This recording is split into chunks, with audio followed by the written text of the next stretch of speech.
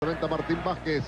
McAllister que no llega, corre Juliño, vamos a ver si alcanza la pelota, si alcanza. Se va Juliño, Juliño, deja atrás a McAllister, ahí va el centro de altura.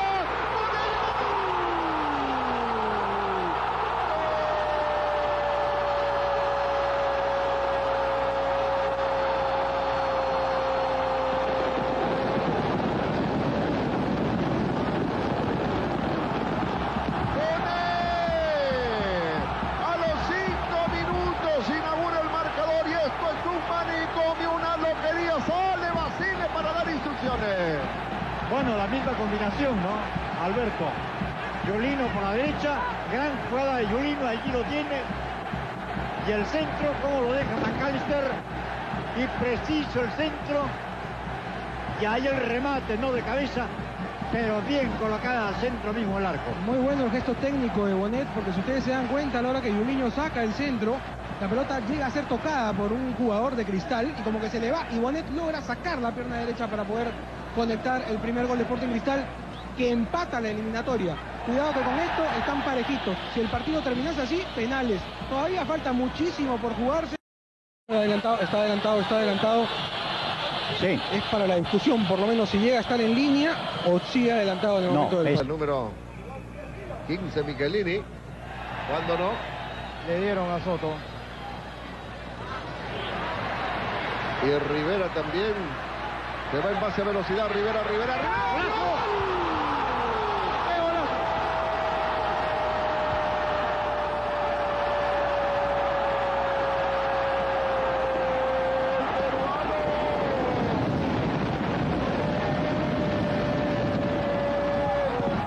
Cristal.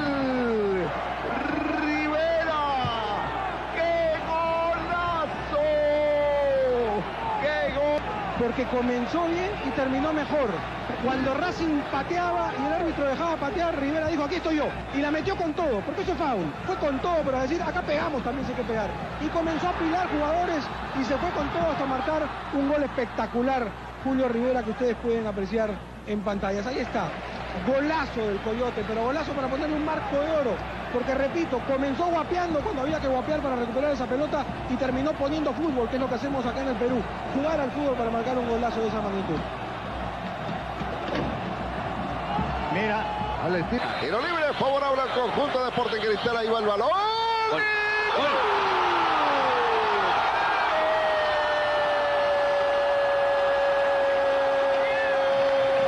Gol de Perú.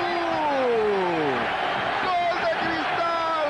Así vibra, señoras y señores, el Estadio Nacional. El Perú entero. Vean este tiro libre de Solano. El cabezazo de Astellano. Cada vez se adelanta más la barrera. Ahí va. gol.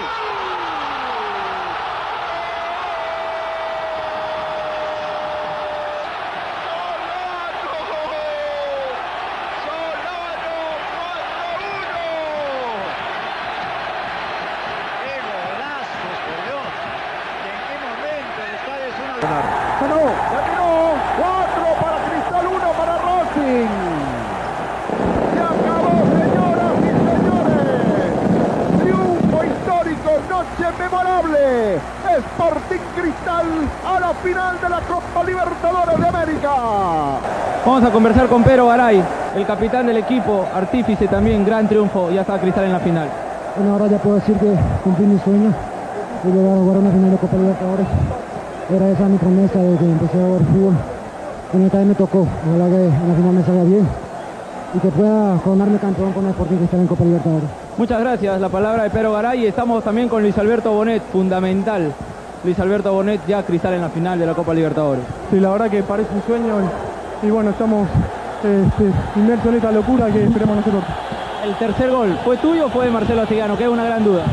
No, entré por atrás y la cambié al segundo palo. Este, por ahí nos chocó a los dos, no sé.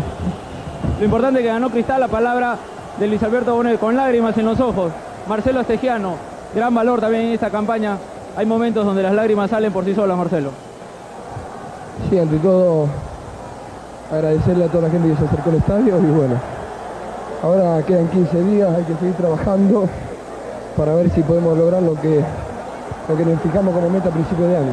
Jorge Soto, gran valor también en esta campaña de Sporting Cristal, ya está Cristal en la final de la Copa Libertadores. Sí, ya estamos, creo que hice un buen partido, hicimos todo lo que jugamos, creo que se hizo bien las cosas, se logró el objetivo principal que era, que era pasar a la final, no, ahora, ahora hay que demostrar lo que, que podemos cambiar, ¿no? Un rival muy difícil, que pegó mucho, ¿no? Un rival que ensucia bastante los partidos. Sí, un rival que, que ensucia bastante, a- al último casi hubo una greja, pero creo que la tranquilidad de nosotros mejoramos más. ¿no? Bueno, muchas gracias. Ahí estuvo también la palabra de Jorge Soto. Jorge Soto, la algarabía es inmensa, te cuento Alberto aquí, a la entrada del vestuario de Sporting Cristal, alegría total, lágrimas también como las que observamos en el rostro de Marcelo Astegiano.